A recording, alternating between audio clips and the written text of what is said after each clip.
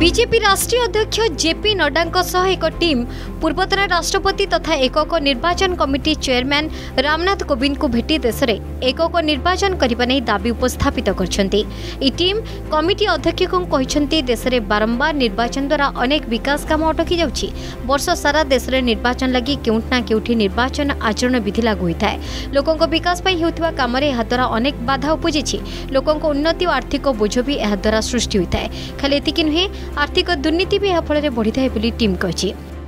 हम सब लोगों ने बड़े स्पष्ट शब्दों में कहा कि ये जो विभिन्न स्तरों पर चुनाव होते हैं, इस कारण से मॉडल कोड ऑफ़ कंडक्ट देश में और प्रदेश में कहीं न कहीं लगा ही रहता है और इसके कारण प्रशासन और गुड गवर्नेंस पर बहुत बड़ा असर पड़ता है। लोगों के हितों में काम करने की जो गति होती है,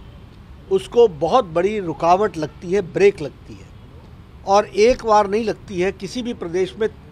मिनिमम तीन बार लगती है ସେଭଳି ସୁରକ୍ଷାକର୍ମୀ ମାନେ ସୀମାର ସୁରକ୍ଷା ଛାଡ଼ି ଦେଶର ନିର୍ବାଚନ କାମରେ ଲାଗିଥାନ୍ତି ଶିକ୍ଷକଙ୍କଠାରୁ ସ୍ୱାସ୍ଥ୍ୟକର୍ମୀ ବି ଏଥିରେ ନିୟୋଜିତ ହୋଇ ନିଜର ମୂଳ କାମ କରିପାରନ୍ତିନି ତେଣୁ ଆଇନ ଓ ନିୟମରେ ପରିବର୍ତ୍ତନ କରାଯାଉ ବୋଲି ନଡ୍ଡା ଦାବି କରିଛନ୍ତି ଲୋକସଭା ବିଧାନସଭା ଏବଂ ପଞ୍ଚାୟତ ନିର୍ବାଚନ ଏକାସହ କରାଯିବାକୁ ପରାମର୍ଶ ଦିଆଯିବା କହିଛନ୍ତି ନଡ୍ଡା ଯଦି ଏଭଳି ନ ହୁଏ ତାହେଲେ ଲୋକସଭା ଓ ବିଧାନସଭା ଏକାସହ ଏବଂ ଦେଶର ସବୁ ପଞ୍ଚାୟତର ନିର୍ବାଚନ ଏକାସଙ୍ଗେ କରାଇବାକୁ ସେ ପରାମର୍ଶ ଦେଇଛନ୍ତି हाई लेवल कमेटी ने हमारी बातों को बहुत गहराई से सुना है हमें पूरा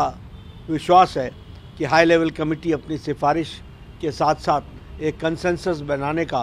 प्रयास भी होगा और सर्वसम्मति से हम लोग इसमें आगे बढ़ेंगे Bharatiya Janata party one nation one election एक देश में एक चुनाव इसके प्रस्ताव को पूर्ण समर्थन करती है ଦେଶରେ ଏକ ସଙ୍ଗରେ ନିର୍ବାଚନ ହେଲେ ମାନବ ସମ୍ବଳ ଓ ଦେଶର ଆର୍ଥିକ ବୋଝ ହାଲକା ହେବ ବୋଲି ନଡ୍ଡା କହିଛନ୍ତି ब्यूरो रिपोर्ट, अर्गस न्यूज़।